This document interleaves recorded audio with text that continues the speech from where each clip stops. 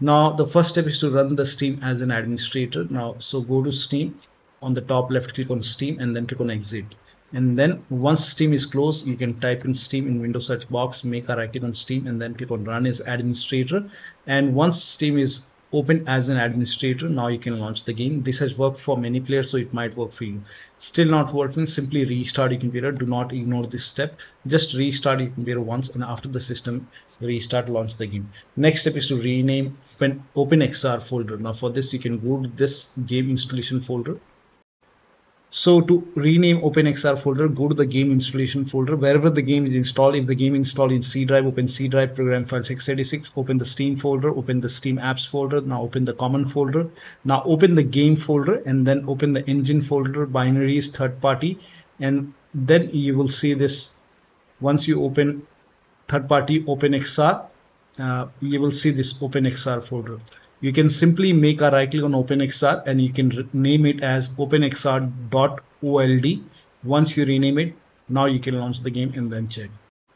Now the next step is to delete the content of OpenXR folder. So go to the same location and this time open open OpenXR folder and then you will see Win64 folder and delete the content of Win64 folder. Now once you delete it, if you want you can create a backup first and then you can delete the content of win64 folder and then you can launch the game and then check. Next step is to now you can skip this step if you're not able to launch the game. If you're able to launch the game you can open options in the game. So just press the o key on the keyboard and that should take you to the graphic options. So just go to options and then go to graphic options and then you will see directx 12 at the end. So turn off direct x12 and then check.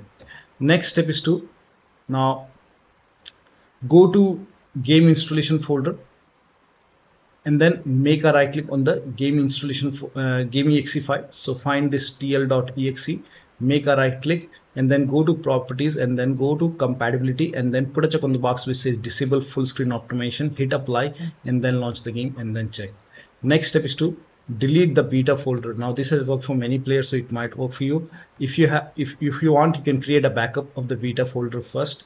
So if you want you can create a backup first and then delete the beta folder. Now for this you can go to game install go to uh, file explorer. So open file explorer in computer and then go to this pc open c drive. Now open users folder. Now open your username folder. Now open app data folder. If you don't see app data over here click on view select show and then put a check on hidden items then open app data folder and then open roaming folder and then open amazon game studios folder then open the launcher folder. Now over here if you see the beta folder delete the beta folder and then after you delete it verify the game files. To verify the game files go to steam on the top click on library and then find the game in the list. Make a right click on the game and then select properties and then go to installed files tab and then click on verify integrity of game files. Once the verification is 100% complete now you can launch the game and then check now the next step is to try dx11 or dx12 in launch option. So you can go to steam library and then make a right click on your game. And once you make a right click select properties. And then in the launch option type in dash dx11 and then you can launch the game and then check. If that does not work then this time you can type in dash d3 d11 and then check. Still not working. This time you can type in dash dx12 and then launch the game and then check now still not working. In that case please follow rest of the steps shown in this video. Now the first step is to simply restart your computer just restart your computer once. Do not ignore this step. Just restart your computer once and then check. Still not working. The next step is to run the game as an administrator from the game installation folder. To run the game as an administrator go to steam and then go to library and then find the game in the list. Make a right click on the game and then select manage and then click on browse local files. Now once you click on browse local files it will take you to the game installation folder. Now once you are in the game installation folder make a right click on the game exe file and then select properties.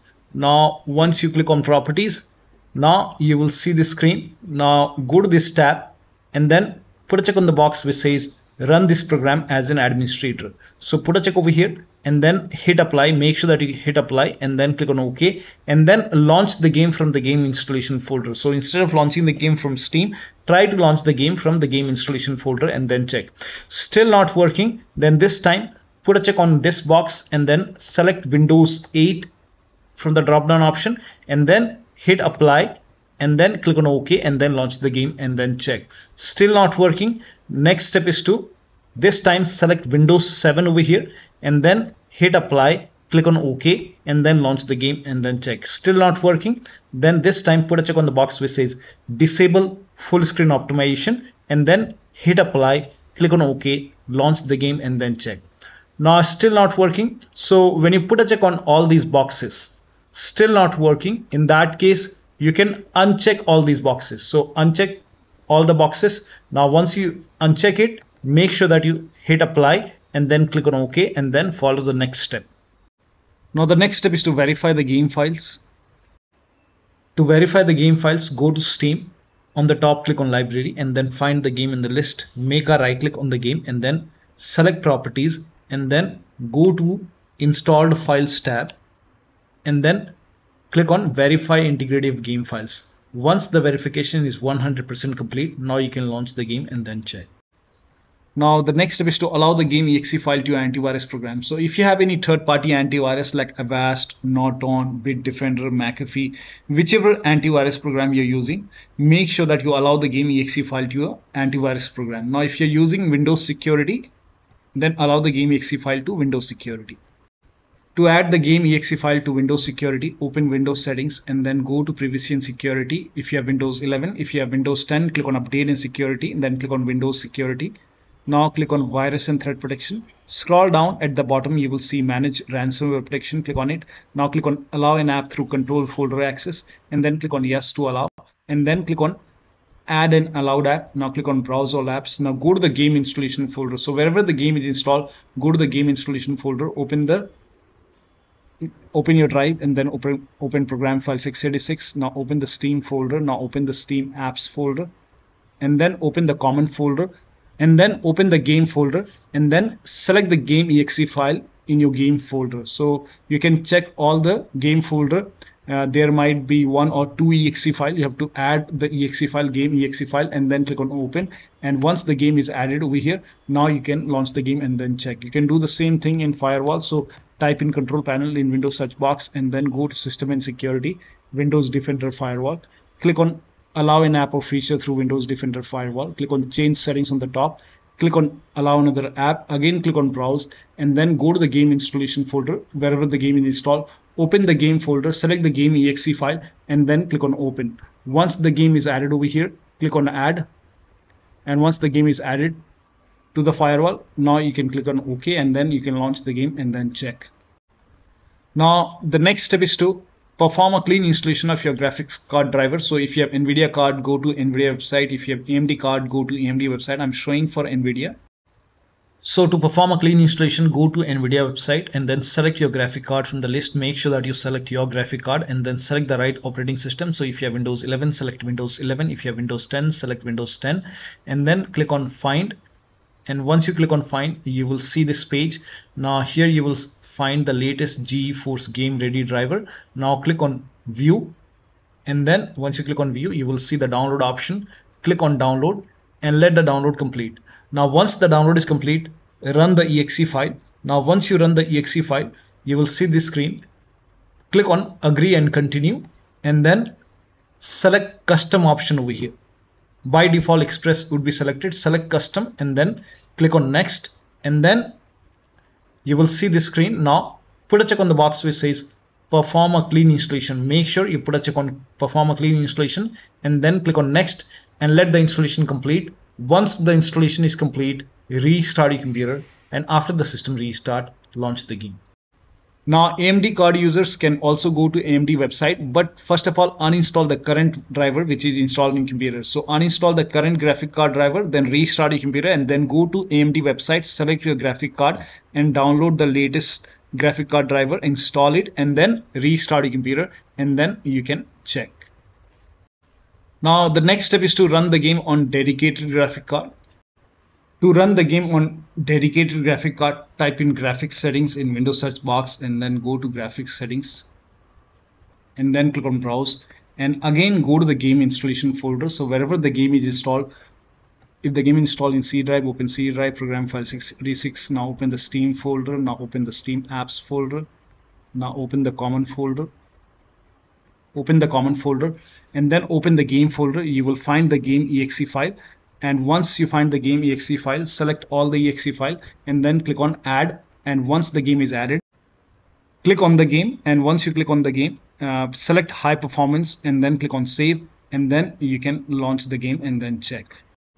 Now the next step is to update windows to the latest version. This is important. So go to win windows settings and then go to windows update. Then click on check for update once all the updates are installed over here then restart your computer and after the system restart you can launch the game and then check. Next step is to install visual c++ file. Now for this copy this link. The link is provided in the video description. Open this link in a browser. It will take you to microsoft website. Over here you can see visual studio 2015 17 19 and 22 download x86 and x64 version. So click on it. And then run this exe file now, if you see the repair option, click on repair. If you see the install option, click on install. Click on yes to allow. And then download this x64 file as well. Click on it. Again, run this exe file. So click on it. If you see the repair option, click on repair. If you see the install option, click on install. Click on yes to allow. And let the installation complete make sure both are installed. Once installed then restart your computer. Restart is a must after this. And after the system restart you can launch the game and then check. Now the next step is to unplug all the external devices which you're not using. So if you have hotas wheel pedals or any kind of USB adapter dongle connected disconnected. Disconnect additional controller sometimes we have extra controller connected disconnected disconnect multiple monitor try launching the game on single monitor and then check. If you have any third-party services or application running close it. Disable steam overlay.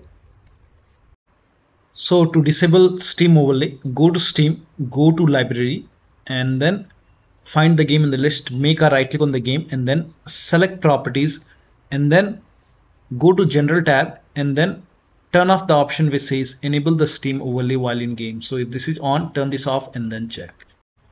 Also if you have any other overlay application like discord or geforce experience running so if you have discord running you can go to discord settings go to game overlay over here and then on the right hand side here you can see enable in game overlay. If this is on you can turn this off and if you're using GeForce Experience on the top right click on the settings icon and then over here you can see in-game overlay. You can turn this off and then check. Now also if you have any other overlay application then you can turn off the overlay in that application or you can simply close all the overlay applications. So if you have any overlay application like I have Discord you can close it. If you have GeForce Experience close it. Any application close all the overlay application and third-party application as well. So if you see anything running over here you can just close it. Also close all the overclocking application. Like if you have MSI Afterburner running over here make a right click close it. If you have if you have RivaTuner running you can close RivaTuner perform clean boot. Now for this type in system configuration in Windows search box and then click on system configuration and go to the services tab and then put a check on the box which says hide all Microsoft services and then click on disable all. Make sure you put a check on hide all Microsoft services first and then click on disable all. In my case, this is grayed out. I already did it. In your case, this will be highlighted. So put a check over here, then click on disable all and then click on apply, click on OK. You will see a restart option, restart your computer and then launch the game. Also, if you have undervolted your computer, remove the undervolt and then launch the game. Next step is to increase the virtual memory. So to increase the virtual memory, type in view advanced system settings in Windows search box and then click on view advanced system settings and then click on the first settings and then go to advanced tab and then click on change over here and then select the drive so uncheck the box which says automatically manage paging file size for all drives. Uncheck this box and select the drive where the game is installed.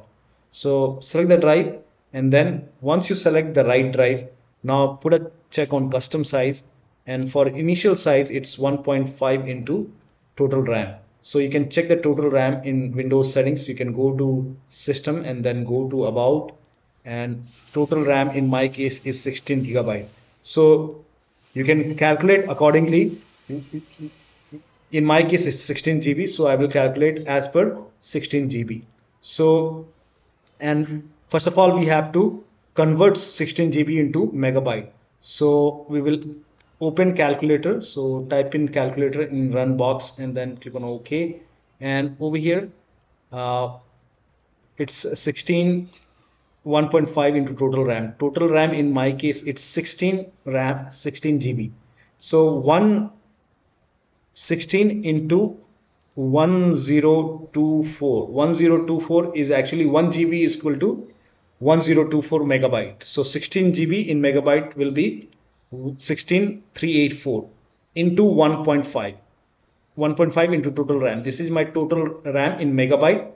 Now 1.5 into total RAM total RAM that is into 1.5 so in my case initial size is 24576 24576 and maximum size is 3 into total RAM. Now total RAM in my case that is 16 gigabyte. I have 16 gigabyte of RAM.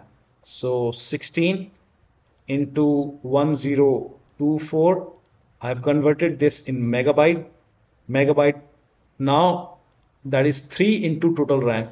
So total RAM is this much into 3 that is 49152 49152 4915 now click on set over here. Then click on ok. Ok. Apply. Ok. Ok. Now restart computer make sure that you restart your computer after this now, the next step is to update the system BIOS. So go to your system manufacturer website. So if you have a Dell computer, go to Dell website. If you have Lenovo, go to Lenovo. So go to your system manufacturer website, select your model number, make sure that you select your computer and then find the latest BIOS update available in software and download page and download and install the BIOS. Now, in case of laptop, before you update the system BIOS, make sure battery on your computer is more than 10% and the AC adapter, the charger is connected to the computer. Then update the system BIOS. And during the BIOS update, your system will restart. Do not unplug the power cable when it's updating uh, the system BIOS. After the BIOS update, log into the computer and then launch the game. Now, the next step, you can skip this step if you're not able to launch the game. If you're able to launch the game, in that case, you can switch to window mode and lower down video settings. Like if the graphics preset is set to ultra or high you can set it to medium or low quality. You can even try to turn off the vsync turn on turn off or turn on the vsync and then check. So try to make changes in the graphic settings. So try to lower it down and then launch the game and then check. Now the last step is to uninstall and reinstall the game. So if nothing is working, you can go to Steam, make a right click on the game and then click on uninstall. Now after the uninstall, go to the game installation folder and delete the game folder and then restart your computer and then install the game to C drive.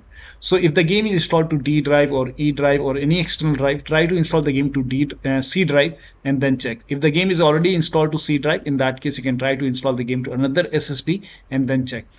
So one of the steps shown in this video should help you to run the game successfully on your Windows computer. So that'll be all. Thank you so much for your time and please like this video and subscribe to my channel.